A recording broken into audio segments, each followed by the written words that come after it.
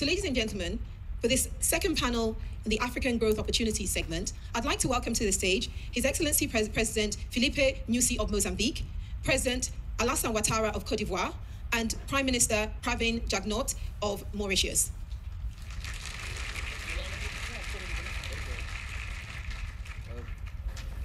Ça va Ça peut être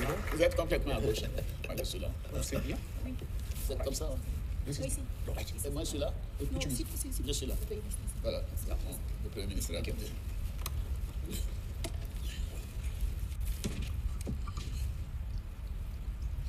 Welcome, heads of state. Um, may I start with you, President Nyusi, Mozambique? Um, não posso um, falar português, mas. Um, um, Mozambique has good opportunities for expanding the manufacturing and processing sector. What are, what are your government's plans to attract investments? Bom, primeiro, espero que todos estejam a ouvir. Canal 4. A primeira resposta que seria, talvez fosse fácil, diria: primeiro, é exatamente isso que estamos a fazer agora. Vir ao encontro dos investidores, falar para os investidores sobre Moçambique, e este é o primeiro passo e é fundamental. Vou falar, quando falamos, fez a pergunta para Moçambique, mas podia servir tanto para toda a África. Eh, Moçambique é um país, posso considerar virgem ainda em termos de riqueza.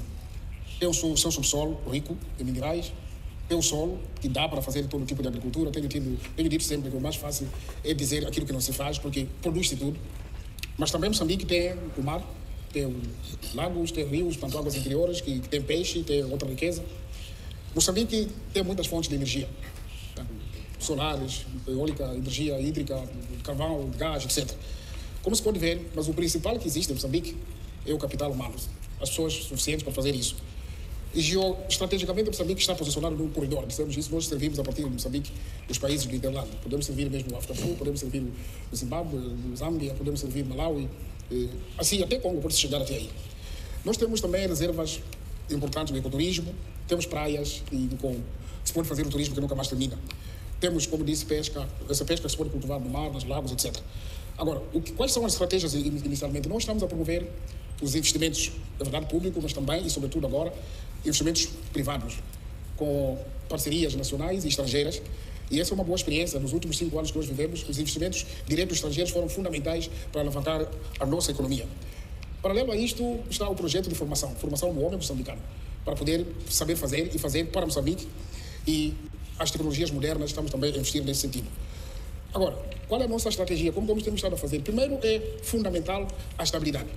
O país tem que estar estável do ponto de vista de segurança, porque todos os investimentos só podem ter lugar, podem ser realizáveis com algum país seguro, eh, onde as pessoas se sentem à vontade, onde se pode investir e, e esses investimentos possam progredir.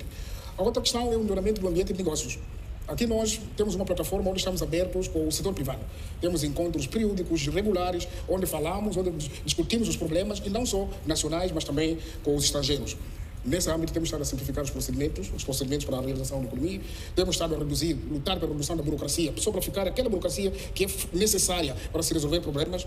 Temos estado a incentivar, tanto incentivos fiscais, mas também, como disse, temos que combater a corrupção. A corrupção não no sentido profundo como se pensa, mas a partir da pequena. Aquele que quando se chega a um serviço, quer prestar serviço, as pessoas pedem apoio disso, apoio daquilo, muitas das vezes as pessoas gostam de complicar isso, ou queremos promover o turismo, como que isso tem que ser feito. Então, esta é uma atividade também que, paralelo a isso, desincentiva quando a corrupção existe, os investimentos. Então, temos estado a fazer esse trabalho. A outra parte, não menos importante, é a questão das políticas macroeconômicas. Essas têm que ser prudentes. Nós temos que aqui lutado pela redução da inflação. Eu recordo, em 2016 tivemos eh, por volta de 26% de inflação. Fizemos um trabalho, até agora estamos nos pontos 3.2, 3.5 a inflação. Isso é fundamental porque isso eh, faz com que a economia e os investimentos não sejam, não sejam caros. A outra questão é a redução, evitar para que os riscos financeiros sejam, eh, incomodem a economia. Então, trabalhamos para que nessa área da macroeconomia não haja, o, o investidor não tenha o receio de investir porque há riscos financeiros em Moçambique, como também a gestão da dívida pública. Sim. Obrigada. Um, next question to President Ouattara. Um, Your Excellency, with Cote d'Ivoire currently one of the fastest growing economies in the world, what factors are enabling the increasing flows of FDI and private sector investments that are driving economic growth? Bien, je, je vous remercie, madame. Je suis très heureux d'être là. Je voudrais remercier à nouveau le Premier ministre et tous les organisateurs vous dire que euh, nous avons amené du soleil à Londres, hein, voyez, depuis, depuis deux jours, euh, les journées sont ensoleillées, j'en suis heureux. La Côte d'Ivoire a fait des progrès impressionnants au cours des, huit dernières années et cela va continuer euh, cette année dans les années à venir.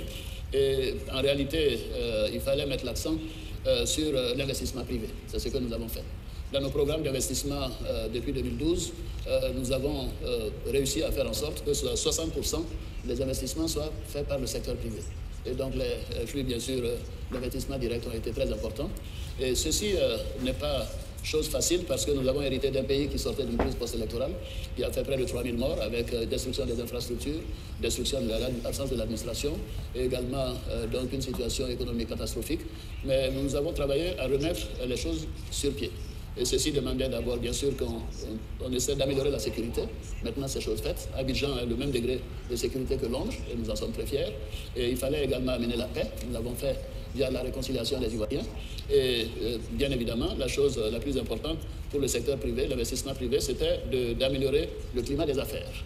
Et moi, je suis heureux de dire que euh, quand on prend les indices de la Banque mondiale, le World Doing Business, nous, nous avons près de 50 points d'amélioration. Quand nous prenons les indicateurs de Mo Ibrahim, depuis six ans, nous sommes le pays qui a la meilleure performance. Et tout ceci a amené donc ce pays à faire une croissance euh, extraordinaire de 8% par an en moyenne depuis 2012. Il y a des années où nous avons atteint 10%, il y a certaines années où nous avons fait 7%, mais jamais moins de 7%. Et ce qui veut dire qu'à la fin de l'année prochaine, en 9 ans, nous aurons doublé le produit intérieur brut. Euh, et nous aurons donc augmenté de plus de 50% le revenu par tête d'habitant, euh, ce qui se traduit par une réduction drastique du taux de pauvreté, euh, qui était plus de 50%, qui est maintenant aux alentours de 35%, et nous continuerons dans cette voie. En réalité, il fallait choisir les secteurs les plus porteurs. La Côte d'Ivoire est un pays agricole, nous, avons donc, euh, nous sommes le premier producteur mondial de cacao, le premier producteur mondial de noix de cajou, le premier producteur africain de bananes, le premier producteur africain d'ananas, le premier producteur africain d'EVA, ce qui fait que euh, la deuxième phase de notre stratégie dont je parlerai tout à l'heure, c'est la transformation de ces produits agricoles. Mais pour le moment, la situation économique est florissante et le taux de pauvreté baisse et le taux de croissance est maintenu. J'ajoute que le taux d'inflation pendant cette période a été moins de 2% par an. Et le ratio de la dette sur le PIB aujourd'hui en Côte d'Ivoire est de 48%, ce qui est quand même un peu pas négligeable, euh, très intéressant par rapport à tous les pays euh, du monde. Et nous continuerons dans cette voie parce que nous avons une équipe gouvernementale solide, nous avons remis les Ivoiriens au travail et nous sommes confiants que la paix, la sécurité euh, permettront de faire en sorte que la Côte d'Ivoire continue sur cette lancée. Merci, madame. Merci beaucoup, monsieur. Um, Prime Minister Jagnos, if I may. Um, Mauritius has clearly been a leader and an early mover um, in manufacturing led development. We've heard from a number of economies today who have talked about being very primary in their economic drivers in terms of the, the level of processing is still very primary. Um, what lessons can you share from Mauritius' experience with other countries and with our audience, of course, of how to actually evolve an economy from primary to tertiary sectors? Yeah, thank you, Mrs. Quist, and let me express my appreciation to the remarks of uh, Excellencies Nyusi and Ouattara. As you pointed out, uh, the question, uh, Chair, Mauritius has been able to attract and retain investments since uh, its independence in 1968. Diversification, in fact, has been the key to our economic success, and industrialization was imperative to start this process. However, we only had very few local entrepreneurs, and they had limited skills and capital.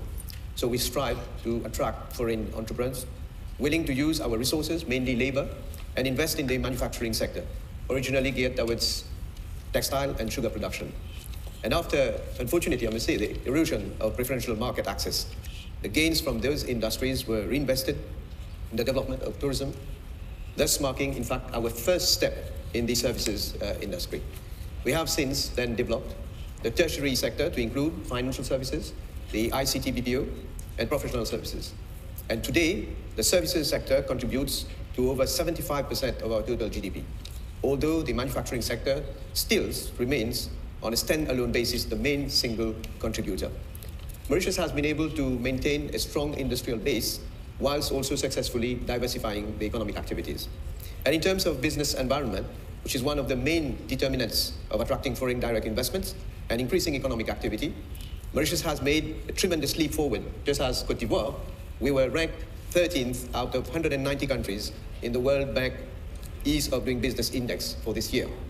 We are, of course, aiming to graduate further, and we want to become amongst the world's top 10 performers.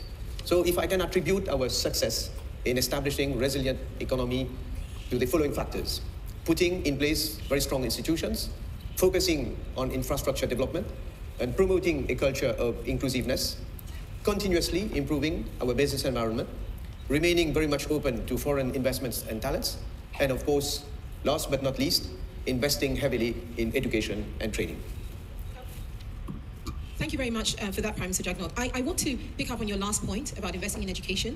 Um, we heard about Tatu from a different country, but she talked about the right skills and the creation of quality jobs for all. As you continue your transition as an economy um, into even much, um, you know, a, a more sophisticated, um, a more sophisticated economy, um, how will you provide the right skills and training for, to create the right quality of jobs for the future? Well, indeed, Mauritius is already an upper middle income economy, and we will soon hopefully join the League of the High Income Countries. With the per capita income already reaching now 12,050 US dollars in 2018, Mauritius is just about 325 US dollars short of the high income threshold that has been set by the World Bank. Now, there has been a marked improvement in income distribution, and uh, we are hoping that more progress will be made in the years to come. The share of total income going to households at the lower end of the income range has increased, and it is important to quote the figures, from 5.3% in 2012 to 5.7% in 2017. The Gini coefficient has decreased from 0.414 to 0.400 during the same period. So to achieve further improvement, we are embarking on an ambitious development strategy by focusing on new high growth potential sectors such as the ocean economy, the digital economy, renewable energy, and life sciences. Our path to a modern and inclusive high income economy will rest mainly, again, on investing in the knowledge, skills, and abilities of our human capital, as these have been and remain our most precious resources. We have recently adopted an inclusive education system where each individual has an opportunity for educational progress. Mauritius has, over the last few years, come forward with a range of schemes and programs that focuses on improving productivity of the existing labor force through continuous professional development programs, incentivizing companies to recruit and train fresh graduates, retraining and upskilling of both employed and unemployed youth, and matching the needs of the private sector to existing future skills. We have also taken a very historical measure by providing access to free education up to tertiary level to all Mauritian citizens in all public institutions. We recognize that for some sectors that we wish to develop, we do not have the local expertise, and as I have mentioned previously, we are open to foreign talents. We have a number of channels which foreign experts, startups, and high caliber professionals can come to work and live in Mauritius. And we have also set parameters to ensure that there is adequate diffusion of skills to the local people. So all along, we have made sure that the jobs that we create are decent and reduce inequality. I have recently introduced a modern and comprehensive employment legislative framework in fact, to promote decent wages and sustainable development, including a minimal applicable salary across all sectors and a negative income tax regime for low-income employees. So these are how we are moving forward to have a more equal and fairly distribution of the wealth of the country. Thank you very much for that. If I can come back to you, President Nyusi. Um, so in Mozambique, it's about 75% of the population that's engaged in agriculture. So my question is, as we talk about attracting investment to Africa, and particularly in your case to Mozambique, how will you ensure that that investment is of benefit to everyone in, in Mozambique and not just the people who are outside um, the agriculture sector? Boa pergunta. Como saiba, nós tomamos posse já na quarta-feira, significa que o meu governo só tomou posse no, no sábado passado. E um dos problemas que temos estado aí a, a tratar eh, intensivamente é exatamente a justiça social. A justiça social significa os bens, a riqueza que existe em Moçambique, aquelas que eu falei no início, tem que beneficiar em primeiro lugar o nacional, moçambicano. Mas para tal, estamos a mobilizar os investimentos estrangeiros, mesmo nacionais, mas estrangeiros, para poder vir operar em Moçambique. Neste caso, estou aqui neste país e aproveito para convidar aqui o, o, o, os britânicos para poder investir em Moçambique. Exatamente, nós estamos através da diversificação. Queremos que haja mais emprego para os moçambicanos. Essa é uma das formas como poder beneficiar. E esse é o slogan que nós usamos agora, que é trabalho, trabalho, trabalho. Estamos primeiro a formar, a dedicar a formação técnico profissional. Significa dar o saber fazer à nossa população. Para quando chegar os investimentos estrangeiros em Moçambique, em diferentes áreas, tem que absorver, na maioria, acima de 90 tal por cento, os nacionais. Essa é uma das formas de que essa riqueza, ainda hoje, esta manhã, tive, tive um encontro com mais uma entidade eminente deste país, quando falávamos sobre o turismo, o turismo comunitário, que há vezes que vem pessoas, operam turismo em Moçambique, mas em cada 100, eh, em cada 100 dólares, ou 100 euros, ou 100 libras que, recebem em Moçambique, apenas 5 é que ficam para Moçambique. Então, neste caso, nós vamos capacitando mais pessoas, vamos formando mais pessoas e, e vamos conseguir fazer isso. Outra questão é mesmo do emprego, porque, por exemplo, nós agora temos uns projetos de gás que estão em Moçambique, estão a vir. E esses projetos estão, estamos a trabalhar com eles para que haja o, o conteúdo local quando trazem os investimentos, os trabalhos terciários têm que ser feitos pelos moçambicanos. Se é para fornecer alimentação, tem que ser moçambicano. Se é para produzir ovo, tem que ser moçambicano. Porque vão incomodando, vão acomodando, vão empregando muita gente, incluindo gente estrangeira. Então, nesse aspecto, nós estamos, ah, temos muitas formas, incluindo a promoção dos PMAs, acho que são as pequenas e médias empresas que existem, como são o fomento. Eu tenho uma empresa que é empresa britânica, que trabalha em Moçambique, que chama-se Plexas, está na da produção de algodão como sua vocação. O que tem estado a fazer, produz sim, tem aquelas machamas que são comuns, que pertencem à empresa, mas eles fomentam o algodão. Portanto, aqueles camponeses singulares que estão aí, familiares, etc., eles são dados também oportunidades para produzir e eles assistem, assistem com fumigação, as técnicas de, de produção, etc., e vendem, eles compram esse produto do camponês. Então, é uma maneira de empoderar o camponês, colocar o mercado ao lado do camponês e atos como esses surgem em muitas áreas, incluindo, como disse, falei aqui, do turismo comunitário, podíamos ter falado também de umas outras atividades de produção. Obrigada. Si je peux euh, poser la dernière question à vous, monsieur? Madame. Similar to uh, Mozambique, what are the opportunities in Cote d'Ivoire to turn jobs in lower productivity sectors into higher skilled positions? Speaking particularly about rural populations. Je vous remercie. En fait, euh, je pense que nous avons les mêmes contraintes. La différence, c'est que la Côte d'Ivoire est un pays d'abord agricole. Ce qui veut dire qu'il y a un bon tiers de la population qui est déjà dans le secteur agricole. Ce qui est une bonne chose. Et quand on investit donc dans le secteur rural, que ce soit l'eau potable, l'électricité, les écoles, la santé, on réduit la pauvreté dans le secteur agricole. Et j'ai indiqué tout à l'heure euh, que sur un certain nombre de produits, la Côte d'Ivoire a donc euh, des performances exceptionnelles. Alors maintenant, pour le reste de l'économie, qu'est-ce qu'il faut faire? C'est d'abord euh, la question de l'éducation et de la formation des jeunes. Et nous, nous avons, depuis 2012, décidé que l'école est obligatoire jusqu'à l'âge de 16 ans. Et pour les familles défavorisées, bien sûr, le, gouvernement aide les parents à, payer les, fournitures et tout ce qu'il faut pour que les enfants puissent aller à l'école. Et nous avons développé toute une série de lycées et d'écoles de, formation technique. Euh, pour que dans le domaine, par exemple, des nouvelles technologies, le domaine du tourisme et dans d'autres secteurs, les jeunes puissent être formés pour pouvoir avoir un emploi. Parce qu'en réalité, c'est ça l'avenir. Une jeunesse bien formée est une jeunesse donc qui s'enracine et qui peut également éviter d'aller se jeter dans la Méditerranée ou dans le Sahara pour avoir euh, donc un peu plus d'espoir. Et cela étant, euh, nous avons essayé de créer un certain nombre d'universités. Notre ambition, c'est d'avoir à peu près 10 universités en Côte d'Ivoire par rapport aux trois que nous avions quand je suis arrivé aux affaires dans les années à venir. Donc une université par grande région donc, de la Côte d'Ivoire. Et voyez-vous, madame, pour que euh, tout cela marche, il faut tout de même qu'il y ait une stratégie de développement, une stratégie d'attraction des investissements privés, également de délocation des ressources dans les meilleurs secteurs, ça veut dire le problème de gouvernance, les problèmes d'encadrement de la jeunesse, les problèmes d'aider les femmes, qui sont quand même font la moitié de la population, à avoir des sources de financement. Nous avons mis en place un, fonds qu'on appelle le fonds d'appui aux femmes de Côte d'Ivoire, qui permet aux femmes, euh, même dans le milieu rural et bien sûr dans le milieu urbain, euh, de, voir 300 euros, par exemple, de, de crédit avec un taux d'intérêt très faible pour pouvoir commencer des activités limitées. Je sais que le temps vient, mais c'est important que je vous le dise parce que nous tenons à ce que ce programme ait un appui des institutions multilatérales, la Banque mondiale, la Banque africaine, mais également la Grande-Bretagne. Parce que euh, nous avons déjà plus de 200 000 femmes qui profitent de ce crédit. Et une femme s'occupe d'à peu près 6 à 7 personnes. Ça veut dire que c'est plus d'un million de personnes qui sont déjà prises en charge. Donc notre objectif, c'est d'accentuer euh, nos efforts pour l'éducation, la, formation des jeunes et la mise en place des outils de crédit et de développement donc, des femmes également. Donc moi, je voudrais vous remercier parce que c'est une opportunité de dire que la Côte d'Ivoire est un pays qui, fait des, qui a fait des efforts extraordinaires. Je salue les, mes compatriotes qui m'ont fait confiance depuis 9 ans et je leur dis que nous continuerons dans cette voie et je suis persuadé que les taux de croissance de 7 à 8% que nous avons connus depuis 9 ans continueront sur les 9 à 10 ans à venir. Merci beaucoup. Merci beaucoup, monsieur. Merci. Um, thank you very much, um, Your Excellencies, for a very candid, open and honest um, um, panel discussion where you shared, um, you know, quite frankly, where your countries are and the progress you've made and, and more insights of where, to, where you're going and the things we can learn from. Um, thank you very much. It's been an honor. And thank you very much, ladies and gentlemen. Um, as, our, uh, as Your Excellencies leave the stage, together I'd like to remind us that the day is not over. And so, as Your Excellencies leave the stage, vous pouvez passer par là.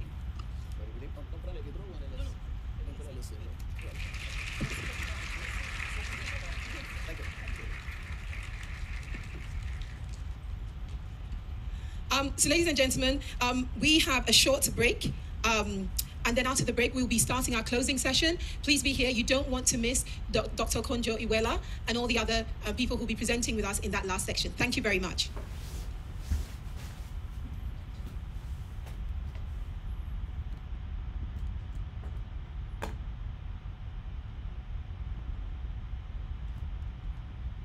Please welcome to the stage your moderator for the day, Lucy Quist.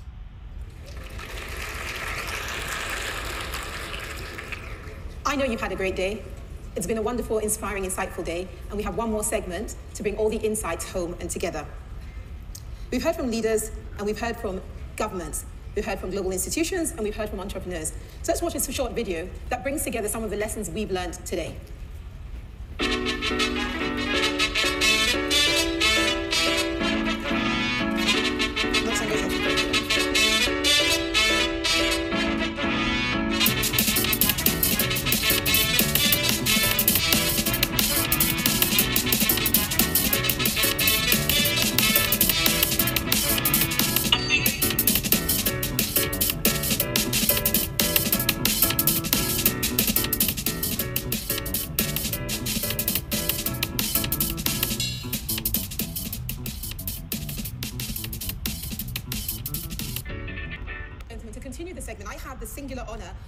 Welcoming to the stage Dr. Ngozi Okonjo-Iweala.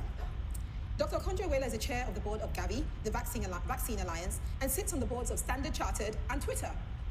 She previously served as Nigeria's finance minister and as managing director at the World Bank, as well as an advisor to Lazard.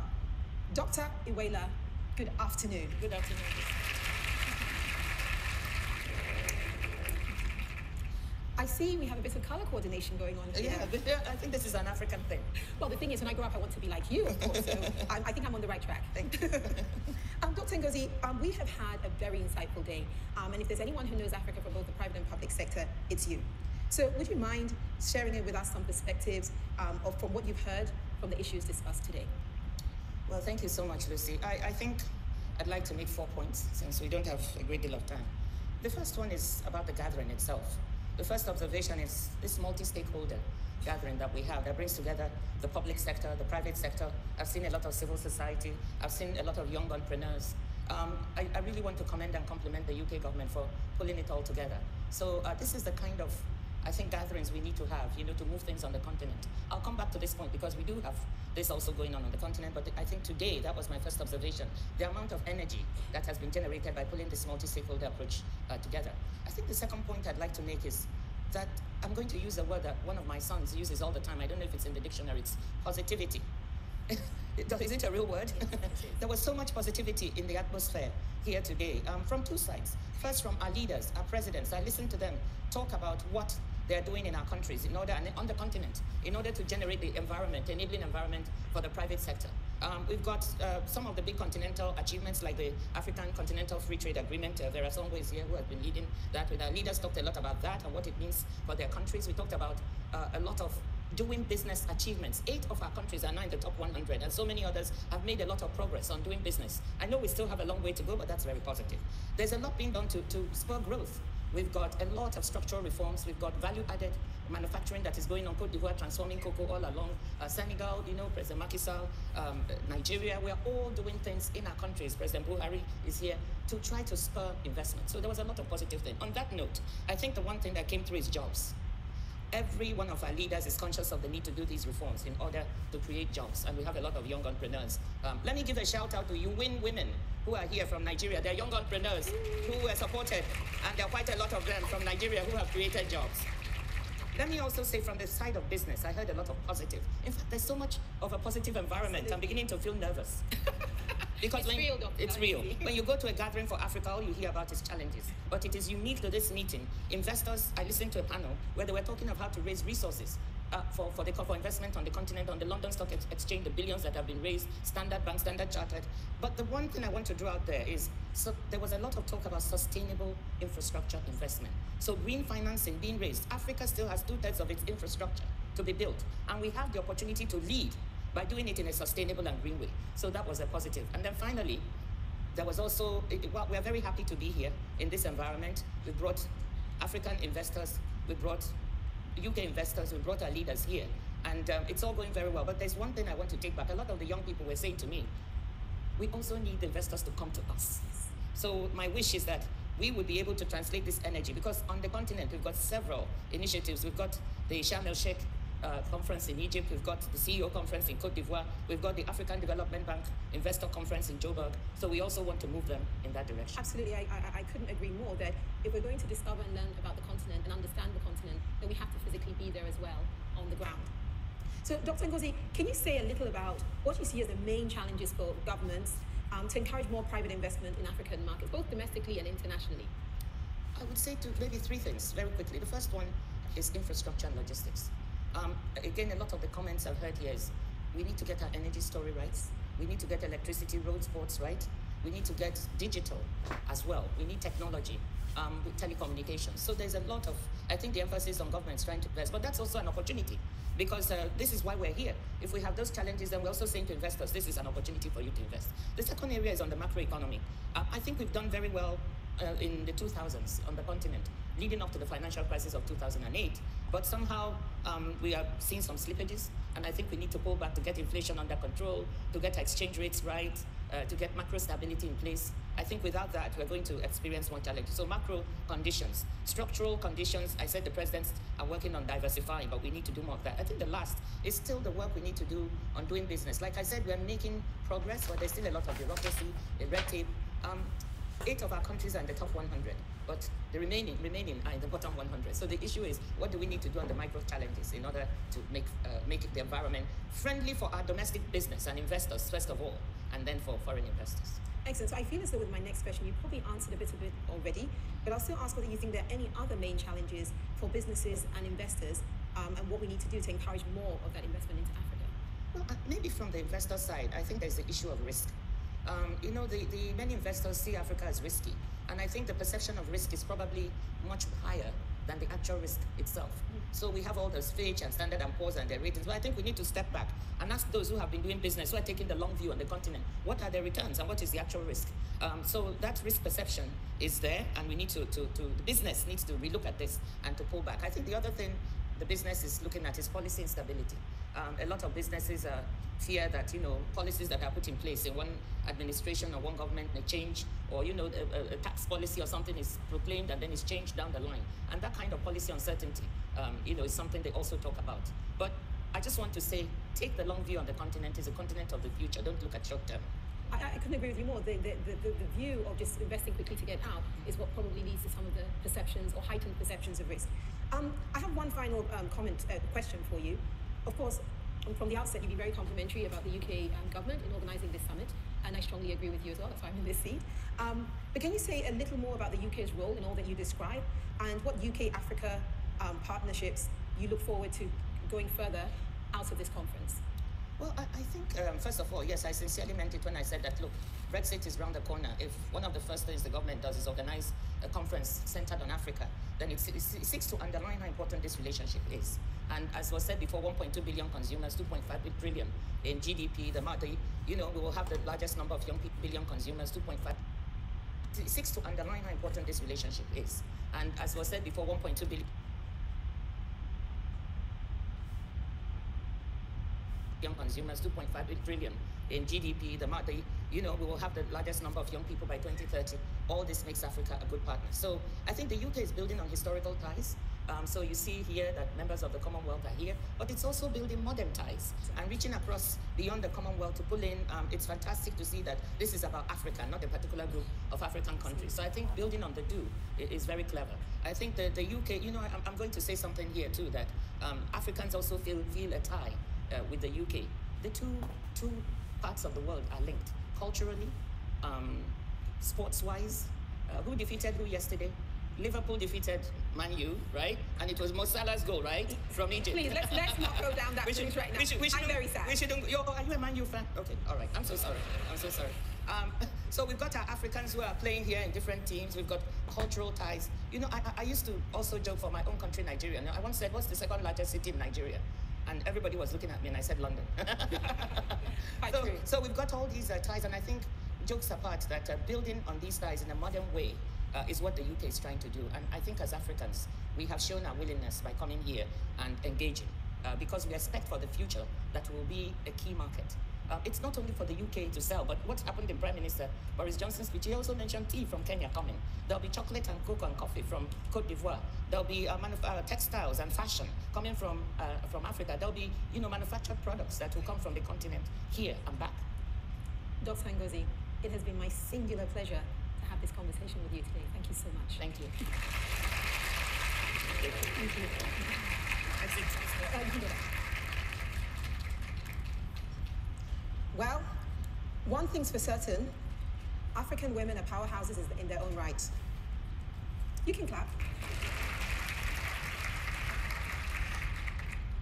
Throughout the day, you've heard from many entrepreneurs, and I have to bring you one more amazing entrepreneur, the last one of the day, and her name is Nabukosi Dlamini, who has joined us all the way from South Africa.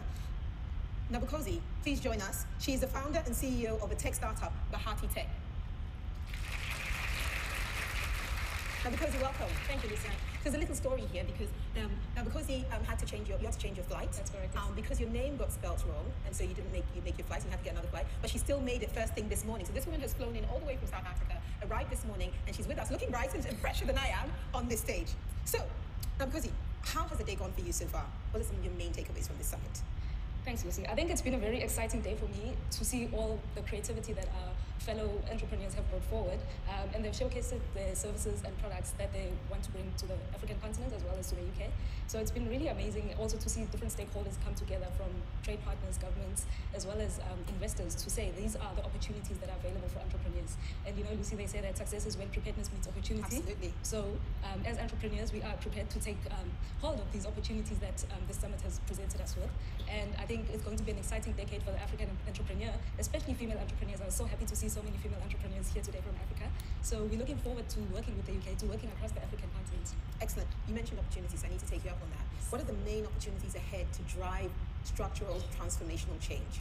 I think the biggest opportunity that um, is ahead of us right now is um, increased collaboration for us as entrepreneurs to take hold of bigger opportunities in the market. Um, I see there's a lot of talk about investment and financing for, for businesses, and that will allow us to scale not only um, in our individual continent, continents, but also into other parts of the world. My colleague um, Charles this morning mentioned that African solutions are not only applicable in the African context, Absolutely. but can be applied in other areas world of the world. So we're very, we're very keen to showcase what our talents are, what our creativity is, and um, I think with uh, an enabling environment, um, with the access to market and financing that we require, um, it's going to be the year of the African entrepreneur. The year of the Af- African entrepreneur. You heard it here first. Thank you very much, Nabukosi. Thank you.